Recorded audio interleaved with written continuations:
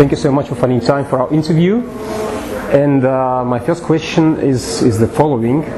We talked to you a couple of months ago, and you uh, mentioned a notion of creative leadership.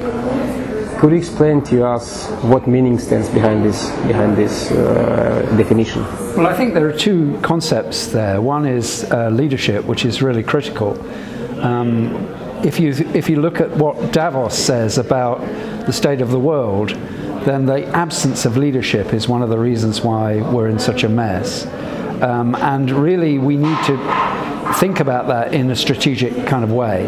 Um, and we need to, I think, to invent a new form of leadership, which is I'm calling creative leadership, because this is different from the old top-down down style of, of managerial um, kind of implementing programs as if they are fixed to a much more open, flexible uh, way of operating, where which is inclusive of people, which is embracing new ideas that brings together areas of art and science in one space so that we really need to be more people-centered how we approach the idea of leadership because it's relationships that really make things happen and the, the non-profit sector and philanthropy in particular is in a good place to foster that kind of leadership.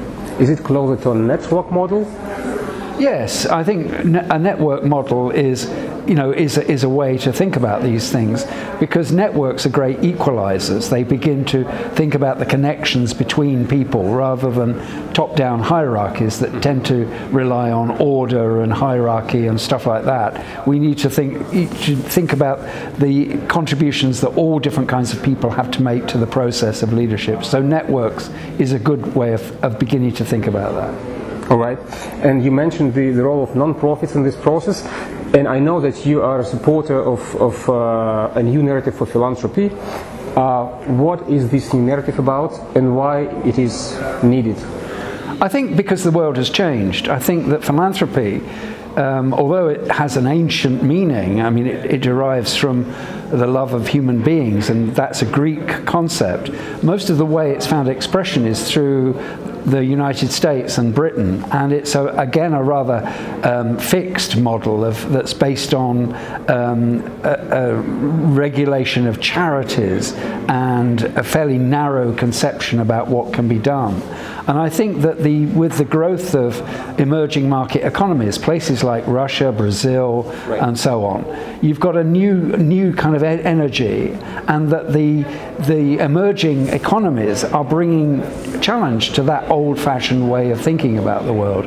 So I think that foundations and others need to change the way they operate and learn from the East and the South rather than just fixing on an old fashioned northern Western paradigm. But do you think is it possible to, to find a common language uh, worldwide, taking into account this this variety of different models in different regions and countries? Uh, that's the question number one. And number two, uh, do you think there should be a leader behind this process?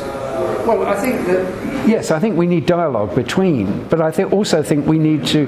Um, actually support the development of the emerging market philanthropy because that's where a lot of the energy is.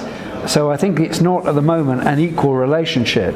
And things like the Olga Alexeeva Prize have done much to lift up um, work that's being done in the global east and the global south. Um, and I think that you know more of that needs to happen. I would like to see the leadership coming from the south because I think we, you know, we, for too long um, there's been a col colonial mindset, particularly from America and Britain, about this is the way you do things. And I'd like to see a more democratic, uh, evolutionary style coming from um, from the uh, you know from the emerging market uh, economies. And you know the new centre at the the Potanin um, Foundation is a way of perhaps thinking about that and beginning to open that dialogue. And do you think that the global north is ready to to listen to and to hear uh, the narrative for something that comes from the global south? Yes, I think that the global north is increasingly um, recognizing that it needs to change its ways. And I think that there are uh, two forces that are, you know, are driving that. One is that um, people are questioning the basis of philanthropy increasingly. There are a number of books that have come out recently that are saying, hey, what is the legitimacy of this field? And so that in a sense, I think that we need to kind of reconceptualize it from that, that angle. But I think there's also, um, from the right wing, um, a kind of uh, authoritarian strand, particularly in some parts of Europe, that's basically saying, you know, the state is the arbiter of all things. And that's a bad mistake. But philanthropy needs to respond to that and actually uh, create its, its new narrative. And increasingly, foundations in, the, in Western Europe are, are recognizing that that is the case. And uh, for example, Russia could be one of the voices in, in, in, this process. Right? Very, very important voice, I would say, because you know Russian philanthropy has a lot of energy behind it because it's it's relatively new. Uh, whereas you know part of the problem with the the UK and the US models is that they're old and it's we've always been done it that way, and and that you know if, if you think about the energy that's been in the room at this conference, it's actually thinking about people are searching for solutions, and in Russia you have you know for example, the, so there are 70 community foundations here. Uh, that, that's extraordinary. You know that these are local, mobilized efforts of citizens to actually do things differently. That's terrific. Uh, beside, besides the community foundations, what what are the what are the things you would like to point out when you talk about the state of the Russian philanthropy, both strong and weak ones? Well, I don't pretend to be an expert in this field. Um, I mean, I think that Giving Tuesday is a, you know, is a very good example of how to do things differently. Um, the other uh, dimension that I'm aware of is the work in uh, arts education and the creative industries that mm-hmm. Russian, is, you know, Russian philanthropy has really led in. Uh, but other than that, I think I, you know, I would need to pass on the question and do more studies before I answered it. Okay, is it, is it one of the reasons why you, um, agreed to join the International Advisory Board uh, of the Philanthropy Development Center? Absolutely. I, I, I, mean, I think I welcome that initiative because I think we need some new thinking around philanthropy. One of the things I'm, you know, critical of is that the the, the philanthropy centres have typically been set up in universities and although they may produce good academic work, there's not enough that's actually filtered through to the field, to practitioners, to begin to in, you know, bring practitioner voices into that debate.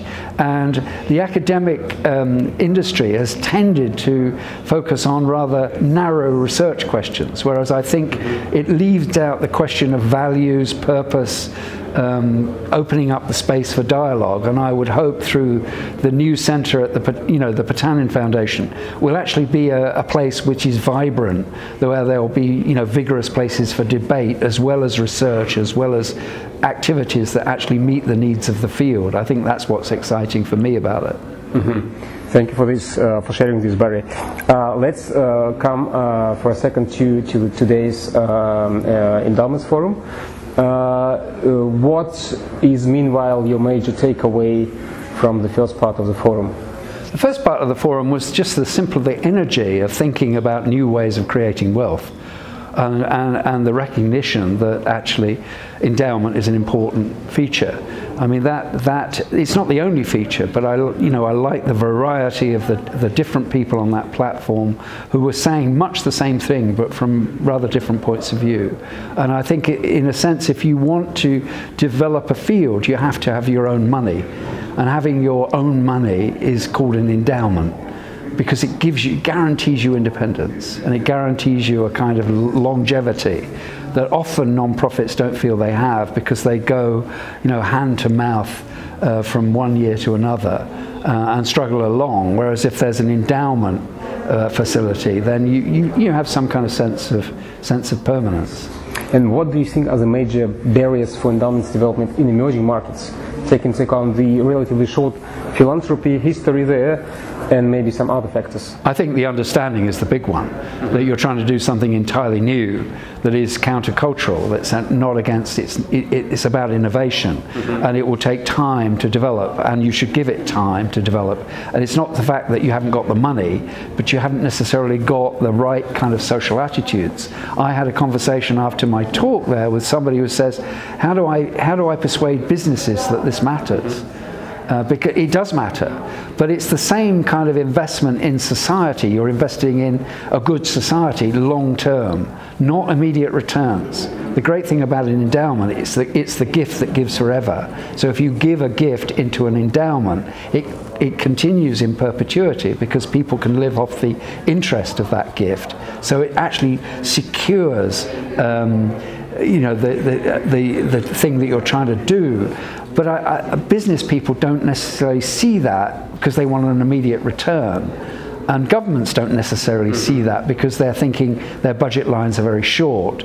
So that it's really that changing the attitude towards long-term thinking, systemic think, you know, what kind of society we want. Mm-hmm. And maybe the last question: If you were to establish your own endowment, then in what in what um, specific area, specific direction would you work? Well, I think the question you started with, I, would invest in creative leadership mm-hmm. because I think that's the key to, to the, the, future, which is that it's not the old leadership of top down hierarchies, it's actually the new leadership of ordinary people having control over their own affairs. Worldwide, we have a political crisis, which is because the decline of manufacturing, the decline of stable market economies means that people don't feel they have a role. We have to widen out the leadership in society to a, you know, to a more creative one. I see that really strongly here in, in the community foundation movement, which is where you know, I, I think I begin to put, the, put some energies. But creative leadership is the key concept for me. Great, Barry. Thank you so much for this interview.